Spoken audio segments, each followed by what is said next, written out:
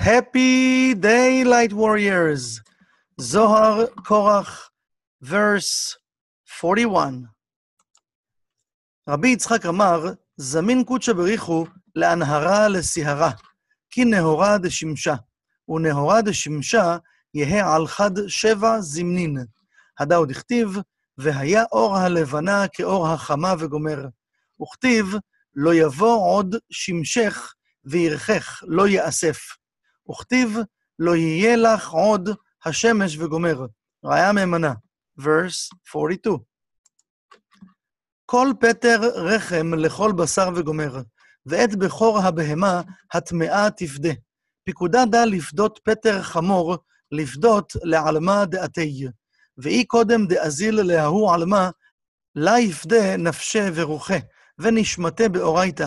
עתיד להחזרה להי עלמא, כי דבקדמתה. ישוב לימי עלומיו, ולקבל נפשה ורוחה ונשמתה. verse 43.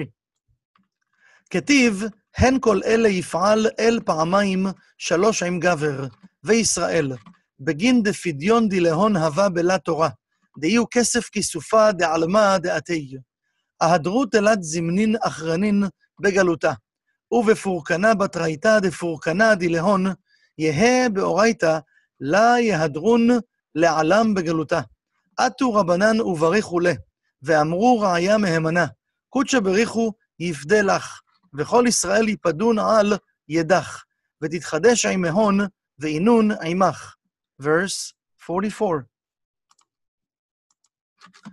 פיקודה בתרדה לדון בערכי בית, וברזה דחוכמתה. בית דברנש דה איתתה, אי יהי איתתה, דטוב ורע, ובעה להמיר רעה בטובה. יפדה לה מההוא רע, ויהיב לה ערך דילה.